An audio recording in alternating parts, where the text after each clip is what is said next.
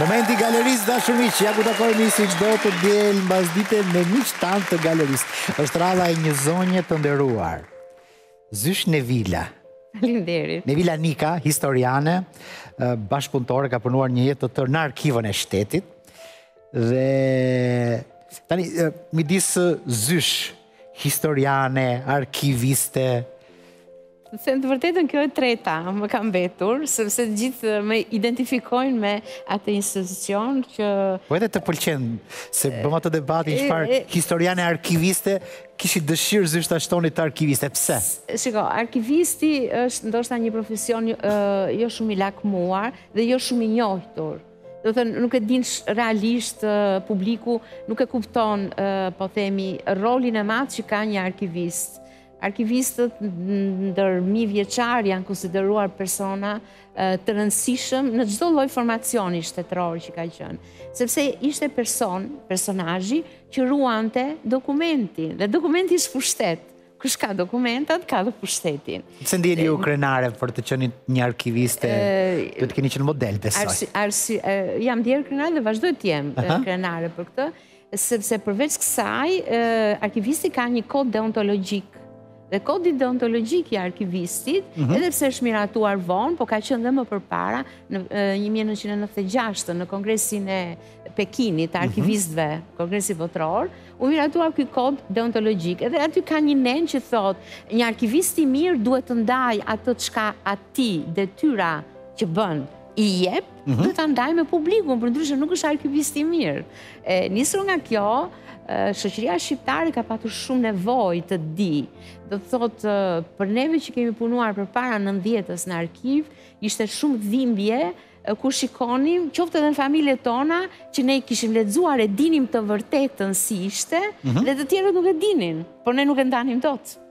Që, që mbas 90-s, ka qenë një nga detyrat. Na thuaj një gjë, na thuaj një gjë të para 90-s që ju e dinit, por nuk e ndanit dot. Po them, Po e marr nga lufta. Lufta e dytë botërore në mhm. Shqipërinë, ne dokumenta ka mjaftueshëm atje. Atë çka atje ne lexonim, qasja që bëhesh po themi në, në publik jashtë ishte shumë gjëra ishin krejt ndryshe. Po marr lëvizjen e Haxhi Qamilit. Ne e lexonim aty që ai kishte shkatërruar, kishte vrarë, ishte antishqiptar në atë veprimtarinë që po bënte ai dhe pasuesit e tij. Po. Musa Qazimi ishte kryetari i kësaj ideologu, i kësaj lëvizje, ky ishte arma që ushtron. E shikonim që ishte një katastrofë çfarë kishte bërë ai. Mirëpo në tekste në shkolla mësonin që ajo ishte një lëvizje përparimtare e tjera tjera. Domethënë, absurditete që normalisht të jepnin një lloj shqetësimi, po marr periudhën e komunizmit. Nëse unë e lexoja atje që ishte një arritje e madhe që po furnizohej popullsia me kaq gram djathe, me dy kokrra veza, po me një e jepnin si ishte fitore, thoja, si ka mundësi, se kuptohet që duke jetuar në Tiranë, ne nuk e kuptonim ç'bëhesh në Korçë, në Shkodër, apo në Tepelenë, dhe lexonim që ata merrnin shumë më pak se ne, domethënë, është, ishte me gjithë mend ndjeje dhimbje, dhe pastaj ajo goditja e fortë për ne si arkivistë, ka qenë momentin që ne hapëm derën, Hapëm derën dhe publiku filloi të vinte te dera mhm. atje hyrja, edhe i pari që gjenin, e di kush ishte, edhe i pyesnin, ku e kam dosjen time? Thashë po, çfarë dosje kërkon? Ato dosjen time. Mendonin që ne ishim institucion i diktaturës, në kuptimin që... Kishte edhe dosjet të gjithsecilit. Po, Si pak Sigurimi i Shtetit. Po pra, pse burgu është mbrapa. A, shih shih sa interesante, po. Po, po, po, se arkiva e shtetit është aty te stacioni i trenit. Po, edhe doje, domethënë, disa minuta t'i shpjegoje, jo, ne nuk kemi kështu, nuk i ke, a, dhe qetësoheshin përnjëherë. Pastaj, kur kishte shumë njerëz që vinin nga ish të burgosur, sapo të dalë nga burgjet, nga internimet, Vinin nga fshati, nga qyteti, domethënë ishte një larmi e pafundme, klerikë, me njërin prej tyre e kujtoj dhe sot, ai nuk jeton, arqipeshkvi i Shkodrës, Frano mhm. Illia, të betohem, kur e kam parë te dera e arkivit, unë mendova që unë nuk jam në rregull, dhe po shoh një fantazmë. Ça kërkonte? Jo, ai nuk po kërkonte ndonjë gjë të madhe, por unë e kisha parë në fotografi, brënda në arkiv, dhe kisha menduar ky do ketë vdekur. Se, ka kaq vjet në po. burg. Ai më doli përpara dhe unë ngela nuk, isha, nuk më dilte zëri t'i flisja. E më në fund, ishte i shoqëruar me dikë i cili filloi të na shante. Komunista, sigurim, sa na i morën, e thashë, qetësohu, e mora në zyrë. S'është ky rasti dhe as bën. I them, unë thashë nuk e di sa vjeç keni ken, i fola pak në shkodranisht, keni ken kur keni hi në burg. Tha kam qenë tha pesëdhjetë e një vjeç, dita t'u bëftë një mijë thash se po të shoh gjallë nuk kishe besu kurrë. Po pra, dhe 40 plus 10 vjet jetë 90 vjeç. Edhe i solla dy fotografi që ishte me nënën dhe me nipin e vet, ai filloi të qante. Me thënë ishte shumë e dhimbshme pra, të shikoje, e donte të puthte dorën time, jo thash, unë duhet të ta puth dorën, po nuk di si puthet dora një kleriku katolik. Kam pasur mundësinë dhe rastin të takoj klerikë, myslimanë, ortodoksë. Ne do, ne do, ne do kemi një rrugëtim bashkë, po një pyetje çik kështu provokuese e stilit të gazetarisë që bëjmë ne sot. Kush do ishte një periudhë e historisë shqiptare që merr një notë maksimale për sa i përket kujdesit ndaj arkivës? Merr çfarëdo historie të çfarëdo periudhe historike shqiptare që mund të jetë interesante. Janë janë disa periudha dhe më duhet t'i ndaj. Periudha e parë, qeveria e Ismail Qemalit u mundua të ketë, po themi, vëmendje për arkivat. E para se i duheshin për të patur një vazhdimësi, se i duheshin, por dokumentacioni ishte në osmanisht. Përvoja e këtyre si ish shtetarë, nëpunës të lartë të perandorisë, një perandori e stërmadhe që kishte arkivat jashtëzakonisht të centralizuara dhe të mirëkontrolluara. Mirë, më, më, më zgjidh një periudhë pa analizë fare. Pa analizë fare. Edhe, edhe vetëm përgjigjen mjetë. Unë do ta gjykoja një periudhë shumë të mirë, ë, që hyri përvoja italiane e mbajtjes sekretari, protokoll dhe arkiva, Koha e pushtimit fashist. Kanë qenë vitet 20, 30, kanë qenë shumë të mira edhe pse të kuptohemi nuk ishte idealja, por, por që po ecte... Pra 20-30 ka ngelë si periudhë e mirë. E mirë, pastaj do t'jenë edhe vitet, do t'jenë edhe vitet 60, 63, 63, Deri në, po themi, më vonë, edhe mbas nëntëdhjetës, mm. ka patur një... Se ça pati 63-shi një gjë? 63 arkivi arriti të dalë nga Ministria e Punëve të Brendshme.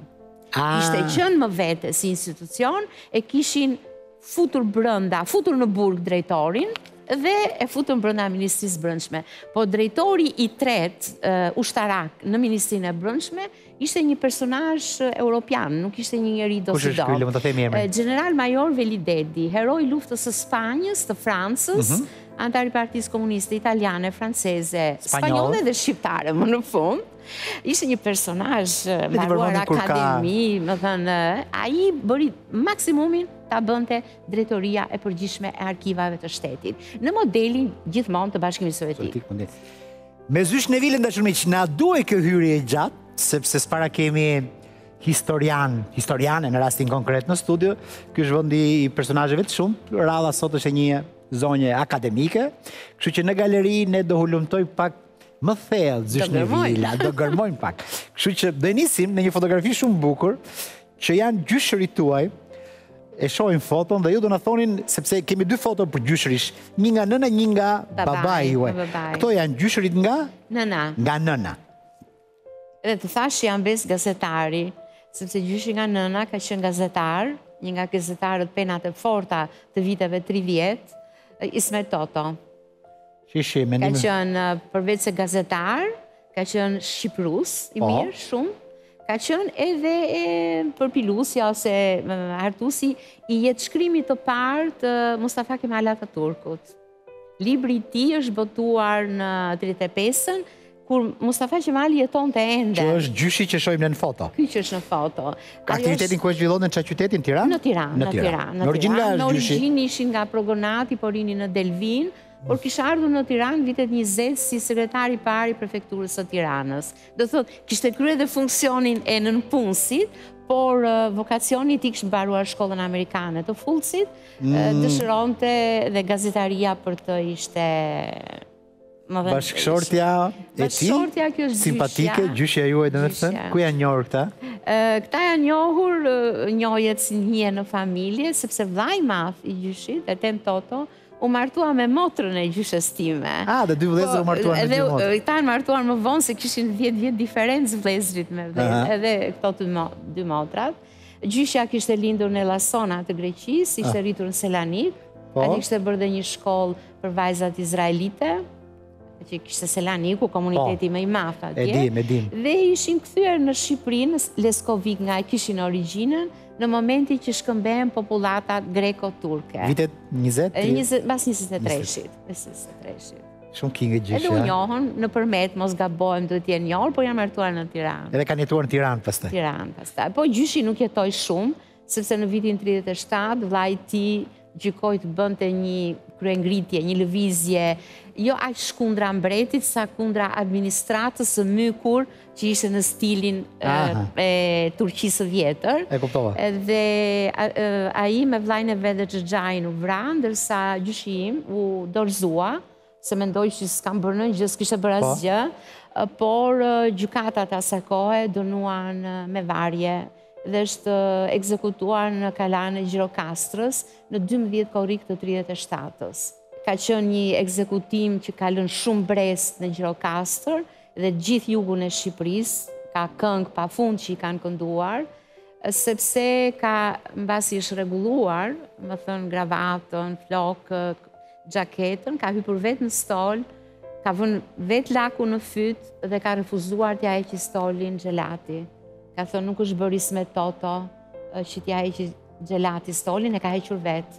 Edhe këtë e kemi të dokumentuar nga dëshmi, jo vetëm të personazheve që kanë qenë atje, por të ish-drejtorit të filialit Bankës Kombëtare, një italiani, në Korçë, Mario Astarita, e ka lënë shënimet e tija për shtypjen që i ka bërë ai ekzekutim. Interesante. Kështu që po që ka pjesë historisë. Shumë pak, ishte i 905-ës dhe ndërroi jetë në 37-ën. La pas tre fëmijë. Kemi edhe një foto që duhet të jetë gjyshi nga babai. Ja ku e kemi. Atëherë... Profil interesant, duket si i huaj ky lloj profili për...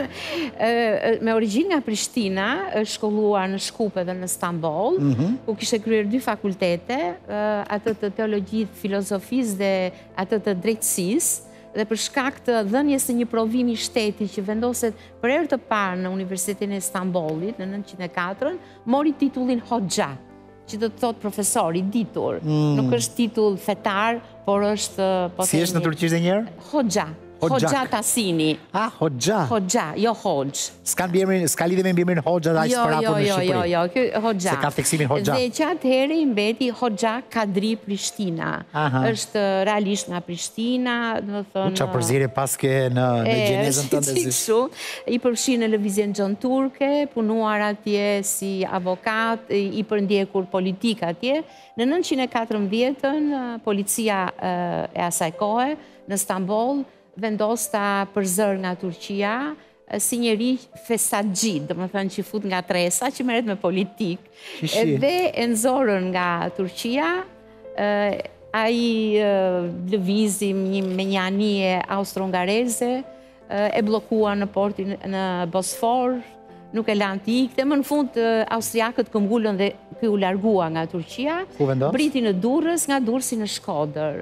Një qytet më i zhvilluar se Durrësi, kuptohem në 914-ën, aty punoi fillimisht si avokat, aty u martua, u martua me gjyshën time, dhe krijoi në 1918-ën komitetin e famshëm, komitetin Mbrojtja Kombëtare e Kosovës.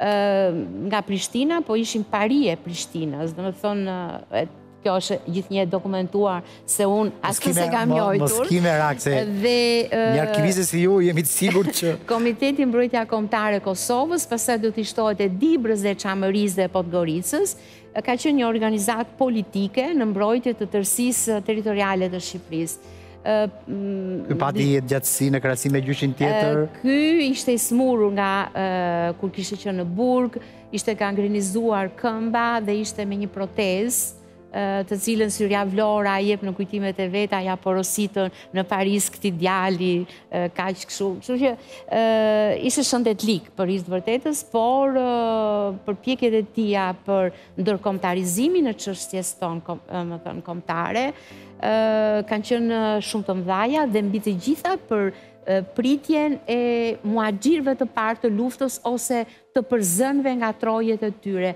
spastrimit etnik që ndodhi Plavë, Guci dhe Vuthaj fillimisht, sipër Vermoshit dhe më pas do të vijë pastaj dhe nga Kosova.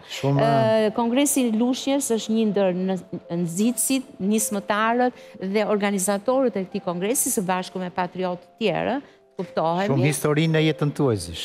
Jo, e, shiko, s'është fare rastësi të qenit ju një historiane duke parë rrënjët e familjes. Kështu që unë dalëngadalë, do të doja të shkoja tek një zysh disa muajshe në krahën, në krahët e prindërve të saj, dhe ndoshta këtu shkëputemi çik nga kjo historia për të hyrë më në jetën tuaj. Megjithse ajo histori gjithmonë ka qenë mbi supe. Nuk diskutohet jo. Jam në një nga lulishtet e Tiranës asaj kohe me prindërit e mi. Babai këtu duket si Po të ishe sot do e merrnin për aktor turk ose kështu për mustaqet. Zotni, sidoqoftë. Kush është babai juaj? Babai im nuk e ka mbiemrin Prishtina. Për shkak se në shkollë kur është regjistruar ka qenë shumë i gjatë emri Bujar Hoxha Kadri Prishtina. I fundit mbylli derën, barsaleta me emrat spanjollë, po. dhe dikush u kujtua t'ia linte Bujar Hoxha. Dhe ngeli ah, Bujar Hoxha. Edhe ka ngel gjithë kohës Bujar Hoxha. Ngeli gjithmonë dhe ne pastaj atë mbiemër. Ndërsa nëna ime. Kurse Nika ju e keni pas shkurt. Nika, po, e kam pasur. E ke pas shkurt se Hoxha e ke pas gjatë. Hoxha, Hoxha. Prej babait. Po, Nika. Ku është njohur me nënën tuaj? Kanë qenë në një lagje, në një lagje aty diku tek rruga katër dëshmorët sipër shkollës Partizani. Domethënë, janë njohur atje, dhe pse kishin pak diferencë në moshë, por... Njohje me dashuri? Normale, jo me shkesi, sepse kuptohet nëna ime nga jugu nga jugu, ky nënën shkodrane dhe baban nga Prishtina është... Sa fëmijë ishit? Dy, motër e vëlla. Si është fëmijëria e zyshës? Fëmijëria ime ka qenë... Shohim një foto tjetër. E këtu jemi me një breshkë të vogël, jemi në Durrës. Në Durrës. Në Durrës. Kemi qenë, im atë kishte shumë, po themi, pasion natyrën. Ti je kjo me fustanin me pika, mos gaboj. Unë jam me fustanin me pika. Vlajë në mes? Vlajë në mes, atë nuk e di. Kjo tjetër kush është? Nuk e nuk e mbaj mend kush është. Një shoqe plazhi, gocë plazhi. Një gocë aty në plazh, jemi habitur pas një breshke. Unë me tim vëlla, kemi patur vetëm 5 muaj, 15 muaj diferencë. Ishim gati si binjakë. Edhe kishim një ritual të tillë që çdo mbrëmje do shtriheshim në shtrat me tim atë, ai do të na lexonte një përrallë, ishin ato libri ndërkombëtar, përralla ruse, azere, të gjithë popujve ato libra. Në shqip, në shqip e lexon. Ai ai dinte gjuhë dhe ne na jo, ne jo nuk ishin në shqip, ishin libra që shiteshin. Ai ai e përkthente duke ua lexuar. Ai na përkthente dhe na na lexonte neve. Ndoshta kjo ka qenë ajo pjesë që Unë nuk e mësova kurrë shahun, sepse kisha inat që babi luante shah, me shokët ose kampionatet dhe nuk rrinte me neve. Ishte kon, ishte në kon. Sepse shahu ka qenë pasioni i tij. Kur kam lindur unë, ka qenë atë vit fitoi dhe kampionatin e shahut. O, oh, kampion shahu në Shqipëri? Kështu që në natyrë kemi Muzeun e Shkencave të Natyrës e vizitonim pothuaj çdo javë. Kemi një foto tjetër ku ju jeni në kopsht dhe më trego pak më shumë për fëmijërinë e, e kësaj kohe. E, e, e di pse e ngacmoj fëmijërinë e kësaj kohe sepse nëpërmjet personazheve si ju zysh Nevila ne edhe krahasojmë çik kohët, ë? Normal. Dhe është kënaqësi japim një mesazh. Si ka qenë fëmijëria e asaj kohe në Tiranë? Shiko, ky kopshti ku jam unë këtu në këtë fotografi Se flokët, flokët kapelon njëherë, na shpjego dhe flokët të kapelon. Eh, shumë të drejta, nuk kishe çfarë me bënin. Po ke qenë Mireille Mathieu e prerjes, mirë që s'kanë kap çik për modë. Jo, ishte shumë shpejt për modë. Por, kopshti që ishte mbrapa shkollës Sami Frashëri sot. Mhm. Shkolla Sami Frashëri ishte një xhami, një teqe, ishte një fushë, Mbaj mend që ishte edhe një ring që bënin boks, pastaj po. boksi u ndalua. Domethënë lagje e vjetër, ne banonim aso kohë te një shtëpi ë shtëpi e Petrelsve dhe Beshirve, dy familje tiranase të vjetra dhe domethënë gjithë ajo ai pellg atje kam dhe fotografi të tjera, është paksa i çuditshëm një xhami, një teqe kështu. Nuk është se gjyshja ime ishte besimtare, gjyshet e mia nuk kanë qenë shumë besimtare. Gjyshja nga babai kishte vetëm kur ishin ceremonitë, Po shkojnë po bëjnë dhe thoshte bëj sadaka, fal diçka, jep. Sadaka sa. Jep, jep diçka sepse vetëm të bën mirë. Në kopësht kujtoj një nga edukatoret Zysh Lezina. Zysh Lezina. Ishte kishte qenë murgeshë. Ishte shumë e rreptë, po ishte shumë e mirë. Dhe e kam ende në kujtesë atë ashtu e shëndetshme, bardhoshe.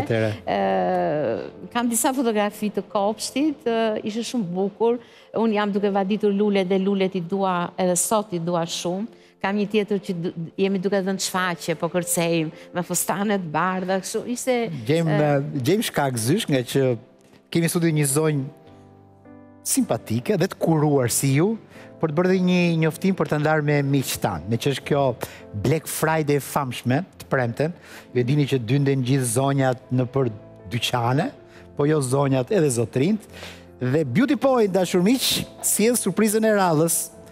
Ai vjen me oferta të shumta, ekskluzive deri në 50% ulje për produktet e përzgjedhura si dhe dhuratat e shumta nga markat më prestigjioze.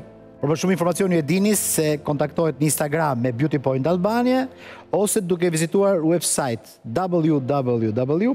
Beautypoint.al Edhe më rëndësishmja që doja t'ju thoja është që keni tek Ring Center një beauty point që i ka të gjitha këto asortimente, kështu që vraponi dhe këtë informacion e ndajmë edhe me zyshën, sepse vlen në një mbasdite si kjo ku njerëzit duan të kujdesen. Ecim pa humbur kohë dhe kemi një tjetër foto me ju zysh. Dhe sot e kanë mundësi të kujdesen. Që është e klasës parë. Është e klasës parë. Dhe ju nuk ka se si mos ta mbani mend dhe zyshën e fillores. Zysha e klasës parë ka qenë Hava, zysh Havaja. Zysh Havaja, çame. Unë e kisha dhe halën time mësuese. Të klasës së parë. Gjithmonë, ah. kishte mbaruar institutin. Normal ti dhe ajo Qiriazi dhe ajo ishte që derisa doli në pension mësuese klasës parë. Atëherë nuk i ndryshonin mësueset. Kjo mm -hmm. kjo ishte metoda. Në klasën e dytë kam pas zysh Haretin, në klasë të tretë kam pas zysh Marieta Gugën, në klasë të katërt Myzafer Ganin. Se memorie, memorie arkivës ti. Katër zyshat e fillores. Edhe edhe edhe në qoftë se ne nuk e dimë. Edhe kanë provime në klasën e 4. Mbaron klasën e 4 dhe në provim. Ndonjë nga këto zysha ndoshta nuk rron sot se këtë nuk e dimë. Jo, nuk e besoj, nuk po, rron as zemra. Ti je e sigurt që sot e ndjekin familjarët dhe ndoshta i bëhet zemra mal. Po më pëlqen, ça shkolle keni qenë njëherë kjo filloren te? Unë kam qenë klasën e parë, këtu sot janë te Pazari i Ri, pallatet e muletit që janë lyer me po, bojra bojra, po. rrinim atje, kishim ndërruar shpi, e kam bërë te shkolla Murat Toptani, është një shkollë që nuk është më, ah. por ndërtesa është, brenda shkollës pedagogjike, është një ndërtesa ah, kace. A, po, po, që është, mos është që u bë muze më vonë a gjë. Nuk e di mund ta kenë bërë, po, po, po klasën e parë kam bërë aty, dhe pastaj kam kaluar te Një Maj, Ishte shkollë ushtrimore, ku ato që bënin pedagogjiken, bënin praktikën në shkollën tonë. Ishin dy shkolla në Tiranë. Eksperimentale që në atë kohë? Jo eksperimentale, ushtrimore për ata që do dilin mësues të filloreve. Po, për mësuesit, po, Ishte shkolla Kosova dhe shkolla Një Maj. Murat Toptani u mbyll, unë kam qenë brezi i fundit që e bëmë. Atje akoma s'kanë dalë tendencat e një historiane të ardhshme? Jo, kujtesa po. kujtesa është. E, kalojmë pa humbur kohë, ke foto si student dhe aty do na thuash pak se si ka qenë kjo rinia dhe adoleshenca jote. E, shiko, ne jemi... Po i afrohemi zonës showbiz. Kjo është e sigurt. Shiko, për atë parë dhe Ku je njëherë këtu, ku je këtu? Jemi në Durrës. Po ti ku je? Jemi... Unë jam kjo që më kanë kapur këmbën që s'donin të më linin të dilja në fotografi. Kjo me këtë qeshen kaq simpatike? Po, unë. Ua, zalojsh. Ne jemi brezi, po themi që Suam pleniumet kundra festivalit njëmbëdhjetë të kulturës e kështu dhe për atë pardesy që kam veshur dhe pantallona atëherë nuk para vesh pantallona më nxorën para klasës ç'është kjo ku i gjeti ça edhe unë i thosha po e kam të mamit nuk e kam timen e kupton ishte ka qenë një periudhë shumë e bukur po dhe e vështirë të themi të vërtetën Ju jeni në universitet? Jam unë këtu, janë, jemi me shokët e kursit. Në, për histori? Studime po, për histori keni marrë, në Tiranë.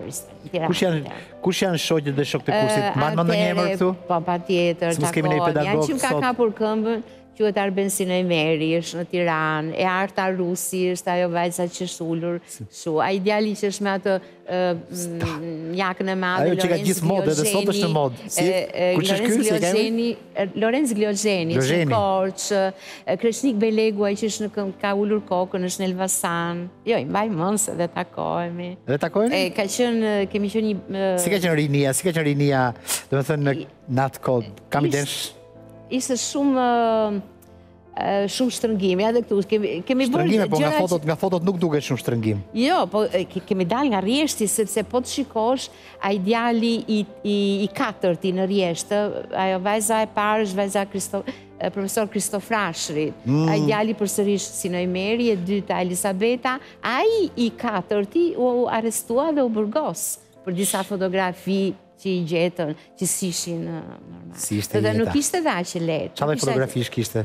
Asnjë se kurrë s'e mori vesh, e akuzuan ishte nga dusi. Ishte kohë që edhe mund të akuzoheshe kot. Një kohë shumë e keqe, me thënë drejtën. Që edhe akuzojshin kot njerëzit. Ne me atë tonën mundoheshim, festonim ditëlindjet 3-4 herë në vit, secili prej nesh 3-4 herë festonim ditë lindje, Që të mblidheshim te shpitë e njëri-tjetrit. Dhe bënit festa nëpër shtëpia. Po që të bënim, ishte me kja në një. Lesi ishte qejf. Po, domethënë, ndoshta ajo një gjë që e bën fshehur, të lezeton më shumë se të qe e ke të lirshme. Më mirë festa e shpisë sa festa nëpër lokale që bëjnë këta sot. E, po si. Kalojmë një çikë te dasma. është një foto ku ju jeni me të bardha.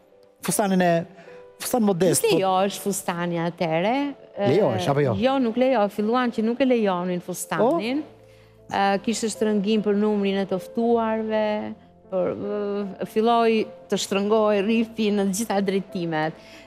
Gjithsesi, unë e vesha këtë fustan, edhe pse nuk isha shumë partizane, Por hajt e vesha, fustan shumë i thjesht, shumë shumë i thjesht, e vesha për pak dhe pastaj vesha një kostum. Ça po shikon ke bashkëshorti? Nuk e di që, po ça po më thotë ndonjë gjë, jo, nuk e jo, di. Jo, po se po e shikon një mënyrë shumë bukur. Nuk e di, por gjyshja ime nga nëna tërë jetën qepi për të mbajtur fmijtë.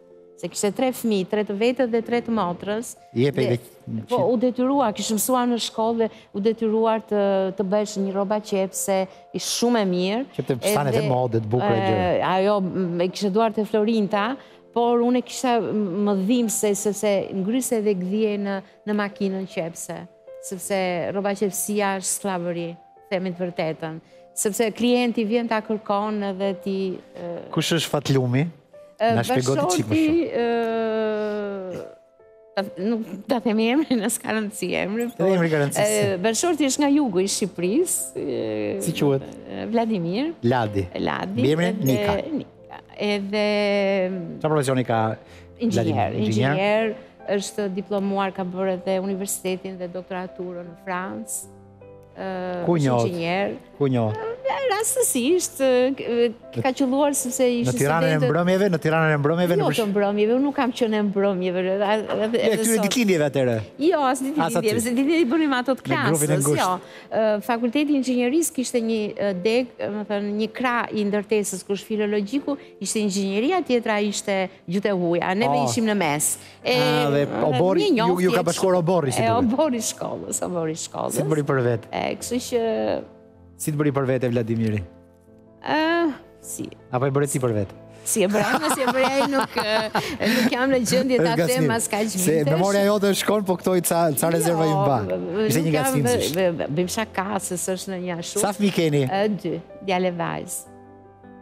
Janë këta të dy, janë të vegjël këtu. Këtu janë të vegjël? E, nuk jemi, thashë... Janë në rrugët e tua, janë inxhinierë, historian, ku janë? Jo, djali kanë bërë për histori, vajza për komunikim. komunikim. A, komunikim? Komunikim. A, për media dhe sektorin tonë. Po, dhe janë jetën e tyre, unë jam mama që nuk ju përzihem. Je bërë gjyshe akoma jo? Jam bërë dhe gjyshe, ka, vajza ka një, një djalë të vogël, një vjeç, por unë nuk ju përzihem, domethënë, S'e lexon nuk përrallën, ngatërrohem. ti. S'ke shkuar ke leximi i përrallës në shtrat akoma. Jo, jo, nuk, nuk ju ngatërrohem, Pse? janë në shtëpitë e tyre. ë, Po pse thua jo, jo, pse? Jo, nuk ju ngatërrohem sepse në fund të fundit, ë, domethënë, të rinjtë lëri. Në qoftë se të kërkojnë mendje, do t'i japësh një ndihmë, jepja. Po që t'i nga, ngatërrohem pse kështu, pse në këtë nuk e. Si se në fundjavë Ke ty për të shpëtuar? Jo, gjithsecili, po të më thërrasin, unë shkoj, po s'më thirrën, nuk shkoj, jo. Gjyshe moderne. Jo, nuk, realisht e bëj. Kalojmë te disa foto, ke një fazë tjetër, intervistës me foto personalitetesh. Eh. Këtu je me një të malë, të malë, po të malë me më të malë. Super. Është Bekim Fehmiu. Është një takim, më vjen keq që fotografia ishte e vogël, nuk, se duhet të kesh parasysh që në ato kohë, ne kishim një aparat fotografik në shpi. Por duhet të bëje vetëm fotografi neutër, do të thotë në plazh ose në një gjë që nuk ngatërrohet, se do ta laje në laboratorin e shtetit. E vërtetë. Kështu që Ça vit, ça viti dhe ku është bërë kjo foto? Unë këtu është në 72-shin, mos gaboj, kur ka ardhur Bekimi këtu, po kishim një lidhje edhe familjare. Hotel Dajti mos gaboj kjo? Hotel Dajti është. Hotel Dajti. Ajo që më bëri përshtypje te Bekimi ishte mënyra se si ecte në hollin e Dajtit, ishte krejt ndryshe nga ato djemtë, burrat që shikoja këtu, mënyra se si më dha dorën dhe se si u ul në kolltuk. Çfarë lidhje kishit ju me Bekimin tjetër? Atëherë, babai i Bekimit, Ibrahim Fehmiu, kish qenë mësues në Shqipëri dhe në kohën e Komitetit të Kosovës kish qenë si sekretar në Komitetin e Kosovës, me gjyshin tim. Kështu që ishte kjo lidhje, me shumë këto kohët e fundit më bie të takoj, si unë, nipër dhe mbesa, po që jo. gjyshërit i kemi pasur shokë edhe bashkëpunëtorë. Ju shkuat enkas ta takonit Bekim Fehmiun atje. Enkas. Im atë ka qenë profesor në universitet, gjithë jetën e vet, domethënë nga 51-shi që ka mbaruar shkollën, në Institutin e Lartë Pedagogjik, pastaj në 57 në universitet dhe derisa doli në pension. Kështu që shkonte në Kosovë, në Prishtinë, ato vitet 68, 80, kur u lirua pak. A, lidhje universitare, ka pas lidhje midis universiteteve, është e vërtetë. Takoi miq të babait të vet, familje që na njihnin si familje, edhe kur erdhi, i kërkoi leje dhe unë kisha dëshirë ta takoja, me shumë droje, sepse aty më tregoi që kur luajti Ulisin, prezantimin që i bën me Irene Papas, Ngela tha i befasum, tha se ajo më foli Shqip. Dhe e kishte emrin Irena, Irene Lejleku, ishte Arvanitase. Vërtet? E madhja Penelopa e filmit që ne kemi parë të gjithë. E madhja, e madhja. Si ishte, u mburre me këtë foto ke shoqëria jote? Se e ishte fama e Bekim Fehmiut e madhe në atë kohë. Ishte e madhe, ai. Plus personazhi më i madh se vetë fama. Po, artisti i Ça të ngeli në mendje në një bisedë me atë. Ja ta thashë, kjo. Jo një fjali që të tha që. Me thënë, rrija e shikoja dorën e tij të kuruar, se këtu mhm. ishin të gjithë me me thonj cung dora e tij e kuruar dhe mënyra i çlirët edhe kur fliste me mua që në fund fundit isha fmi përpara tij. Në këtë foto një moment të caktuar dhe shumë bukur, sepse ne jemi duke bërë disa përpjekje për të pasur në galeri zonjën e Bekim Fehmiut. Madje jemi duke bërë disa përpjekje me ambasadën serbe në Tiranë, se dimë që ajo rri në Beograd. Dhe na kanë dhënë një lloj shprese dhe do donim ta kishim. Me shoqen e klasës së vet ishte martuar. Se dhe ajo është një dashamirëse dhe një personazh i madh. Po ka po. dhe edhe vlezrit, ishte familje e madhe. Po ky është kopje e babait të vet. Po. Kopje, ne kemi fotografi në shtëpi të tij dhe Kalim ke një tjetër foto që ndoshta ka lidhje me fillimin e emisionit, me atë Zef Pllumin. At Zef Pllumin. Pse është e veçantë për ty kjo foto? Është shumë e veçantë, sepse unë në 91-shin shkoj në kishën e Shna Ndojit. Kisha e Shna Ndojit ishte afër shpisë të gjyshes time, të mamit tim, mm. e të rinisë. Edhe unë shkoja në vogëlinë time, shkoja në këtë kishë për të dëgjuar si i binte organos një zonjë austriake e martuar me një inxhinier në Tiranë, zonja Eda. Ajo i binte organos atë dhe ne fëmijët e vegjël e dëgjonim. Ajo i binte edhe te kisha katolike mbrapa 15 katshit, ka qenë një kishë më e vogël ajo. E ne kishim fqinjë këtë grua, edhe shkoja dëgjoja. Në nëntëdhjetë e njëshin, u hapën edhe me një shoqen time të punës, thamë, shkojmë ta shofim njëherë, edhe kot të pyesim, Një prift që është atje për disa terma të klerit katolik, megjithëse po punonim fondet në arkiv të klerit katolik. Mm. Nuk është se nuk i gjenim, se kishim fjalor, po kërshëria shkua. Po mbante ishte fundi i meshës, ajo, sa e kishin rregulluar pak, ajo kishte qenë si stallë atje, se bënim mbledhjet lagja, ky na afrohet neve dhe na thotë, vajza, pse keni ardhë, Varza, varza, pse keni ardhur? E i thashë unë, e kena me, me ju pyt si jeni. E kuptova dhe se nuk jeni tha besimtare, tha katolike. ne po ishim si dru, nuk po. nuk kuptonim mhm. asgjë. Edhe i tham kështu kështu, na mori, na i shpjegoi dhe që nga ajo ditë unë kam shkuar, uh, sidomos vitet e para, në dhomën e tij dhe thoshte Nevil, je e vetmja gru që ke hyrë në qelën e një françeskani. Vërtet. Shkoja dhe me fmijtë e mi dhe libri i tij Rrno për me diftue, unë e kam dëgjuar nga goja e tij, pastaj ai e shkrujti, më nxiti pastaj kërshërinë për të zbuluar të kujt ishin shkrimet e atyre klerikëve që ua kishin marrë kur i kishin arrestuar. Ky kishte qenë një nga arkivistët e fundit të urdhit Françeskan. Dhe prej tij kam mësuar shumë gjëra tejet interesante. Iu afrove një çikë fesë më shumë me këtë rast.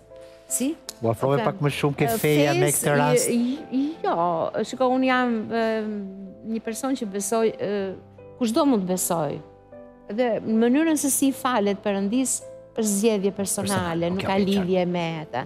Por më nxiti që meqenëse kisha dokumentat në dorë, unë të mbroja doktoraturën për herë të parë me dokumente të klerit katolik. Askush s'e kishte bërë përpara. E kishin bërë për ta sharë, por jo për të nxjerrë të dhëna. Arqipeshkvia, Dioqeza e Shkodrës në shekullin e 18. Ribotimin, aty ku jam sot Universiteti Europian, Henri Çili tha, jo, do t'i vëmë një titull tjetër, Në shtëpinë e Zotit dhe Henri pati shumë të drejtë, ishte shumë e bukur në shtëpinë e Zotit. A jemi ke sektori ati, në kenuatja e ati. Shumë gjetje e bukur, dhe At Zef Pllumi më nxiti, edhe unë e kam bërë në kohë rekord, një gjë ndoshta e thjeshtë, por jam e lumtur që nuk kam asnjë citat udhëheqësit. të para nëntëdhjetës. Se ata që historianët e para nëntëdhjetës ishin të shtrënguar në mengene që thonë në darë për të thënë ka thënë Enveri, ka thënë ky, ka thënë ai. Unë nuk kam cituar asnjëri. Kam një pyetje të fundit për ju zysh, para se ta mbyllim këtë galeri. Kush është dokumenti më i rëndësishëm që ka arkiva shqiptare? Një, më thuaj një dokument që është thesar i vërtetë i arkivës shqiptare, i arkivës shtetit. Për një arkivist është shumë e vështirë, jam në zyrë këtu. Vite përpara, kur isha drejtore e Arkivit Qendror, jo e po. përgjithshme. Dhe ma ka bërë një kolege zvicerane. Këtë? Këtë fotografi. Më jep një emrin e një dokumenti, edhe si arkiviste, pavarësisht si, jo, si arkiviste, që ka. E di, është shumë e vështirë. për një arkivist dokumentat janë si si fmijtë. Që ke. Edhe një gjë fare e thjeshtë. Edhe një letër sa gishti i kësaj dorës, sa, sa ky gishti është një letër që Lasgush Poradeci është pak më e gjatë letra ia çon ia çon gazetarit Vangjel Koça. Vangjel, le, lekët e artikullit më dërgo se jam pa para. Shumë e bukur. Zysh Nevila dashur miq, që ndër të tjera është Nevila e parë në Shqipëri dhe kjo është edhe kjo e vërtetuar. E vërtetuar. Dhe shkencore. Dhe në... Nevila Dhe gruaja e parë drejtore e arkivave. Dhe gruaja e parë drejtore e arkivave. Dhe arkivistja e parë drejtore e arkivave. Dhe gratë kishin të drejta në atë kohë, s'kanë qenë kështu pa të drejta siç... Jo, ishin. Arkivi ka qenë gjithmonë një institucion, po them, më shumë femëror, më shumë punonjëse ishin gra, kishte edhe shumë burra, dhe unë kam qenë, thashë, gjashtë muajt e parë, po ta them, e di, unë në shpi i mbaja lotët, vetëm se e dija që do më thoshin pusho, Se shyqyr që është një punë. Je shumë e mirë se je nga të parat ftuara që s'më thua në mbiemër. Se më thonë gjithë Manushi. Manu, jo. Po, do shta qikë arkiva dhe ke kjo. Jo, unë e kam patur në... Në festa, ti një gotë vere, ba, e ke këtë të një gotë vere familjare në dreka, kështu gjërësh, apo? Mm, duhet ta pi, më thonë, por nuk jam shumë që pi. Po si të qovë, me që jemi te ajo gllënjka dhe gota. Në qoftë se pi që s'kam ngrënë, filloj e qesh. Opo. Ne t'urojmë gëzuar me një Stone Castle, na e sjellin ca miq të mirë nga Kosova, është një verë speciale. Dhe me që po afrojnë festat, ju e dini, bëjeni tuajën nëpër shpia, restorante, ne qerasim zysh Nevilën me këtë. Gëzuar, ju rëmë shumë dhe. Faleminderit që kalove një pasdite me ne. Faleminderit. Dhe rrimë në kontakt, se kemi shumë nevojë për ju. E patjetër, e të thashë atë të të qarit, që qaja për atë, dhe pastaj kam thënë kush qe ai fat, Kush qe ai person që vuri firmën të vija këtu, sepse unë kam thënë mbaroj dita, më ngeli dhe një gjë pa lexuar. Edhe thënë besoj se jam nga njerëzit e pakët që ka shkuar në punë me një synim që do vete, do shikoj, jo të them ububu se do të shkojmë sot në punë. Zysh, jemi të kënaqur që të kishim këtu. Ndamë momente interesante dhe mos thuaj që s'e kaluam ashtu siç e mendonim. Gëzuar dhe gëzuar dhe ju të dashur miq, kështu që Vazhdoni me pak publicitet dhe Diella me surprizat e saj. Wow.